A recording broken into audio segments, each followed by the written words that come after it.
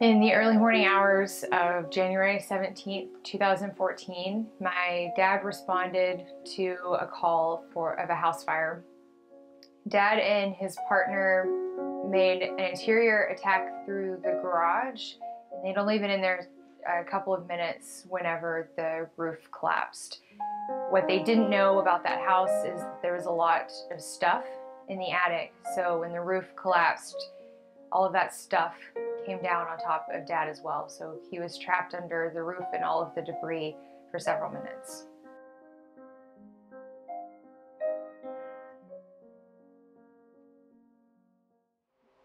I was listening and then I heard the Mayday called.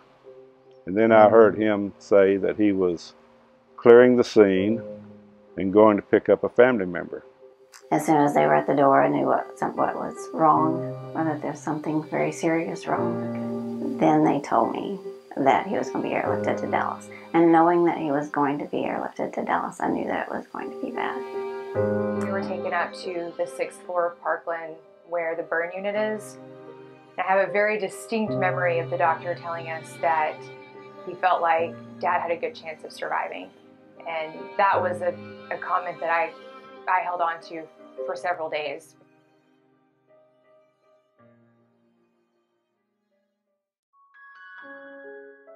This is definitely not how I had life planned. Um, you know, am I happy with things? No, not really. It's not the way I envisioned living the rest of my life. Uh, but hey, it's the way it's it's the way it's going to be, and I just have to accept that and move on. During the 96 days, it was it was probably a good thing that he wasn't aware of a lot that was going on during that time because the pain was so intense. I wouldn't want him to remember that much pain. So I know one of the questions that Dad asked his pastor, Brother Robbie, was, you know, why why would this happen? Is that he was being punished for something that he did, and uh, and Brother Robbie asked me a couple of simple questions. Uh, you know, first of all, do you love Nicole? And I said, well, sure, I love Nicole. She, you know, she means everything to me. And he said, okay, would you do anything to intentionally hurt Nicole or harm Nicole? And I said, well, of course not. I would, I wouldn't do anything to hurt Nicole.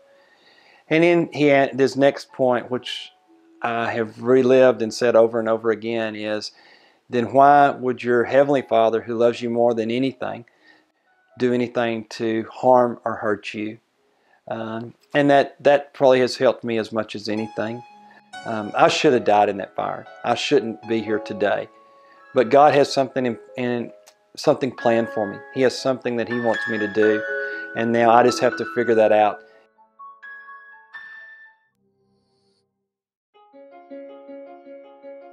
So for us as a family, it's not about going back and doing things the old way, but trying to create a new normal for our family and getting a fresh start and starting over and figuring out what our new life looks like and not trying to make things look like they did before the accident. 100% we would not have gotten through this without our faith. I don't think you can be in the fire business or be a part of the fire family and not believe. After his 97 days in ICU, when he finally moved to rehab and I got to see him, one of our first conversations, he was talking about that he may have to, but he just just really didn't want to quit. And I said, you're not going to have to quit. We, we're going to find a place for you. And we have, and we will. Um, he really misses getting onto the truck. And so just a couple of weeks ago, he actually went on a call and pulled hose and helped them in that way. And so that was exciting for him. One of my therapists uh, early on told me, you know, you need to learn how to fix a, fix yourself a sandwich. And I'm like, okay, if I fix it, how am I going to eat it? then I just got to thinking, you know, hey, I'm, I'm going to figure this out. I'm going to do this. Denise has gone back to work, so I'm here by myself during the day, and I have to fix my own lunch. And I've learned how to fix my own sandwich, and I've learned how to pick up a sandwich and how to eat a sandwich. And he used to mow the yard all the time with a push blower. And so that was a challenge to learn how to start, full start the, the lawnmower. while we were in rehab, we had a lot of these straps that were velcroed together and made like a loop. And so we um, cut a little notch out into the loop and attached it to the pull part of the lawnmower so he can slip his hand into the loop and then pull.